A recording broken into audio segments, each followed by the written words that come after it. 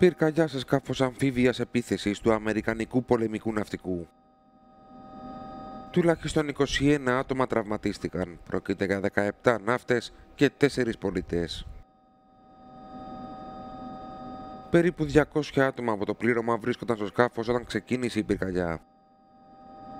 Το σκάφος εκενώθηκε και οι τραυματίες μεταφέρθηκαν σε νοσοκομείο. Κανείς πάντως δεν βρίσκεται σε κρίσιμη κατάσταση. Το πλοίο είχε λιμενιστεί στην ναυτική βάση του Σαν Διέγκο στην Καλιφόρνια και εκτελούνταν εργασίες συντήρησης. Προς το παρόν τα αίτια που προκάλεσαν την πυρκαγιά δεν έχουν διευκρινιστεί, ενώ η επιχείρηση κατάσβεσης στο φλεγόμενο σκάφος συνεχίζεται.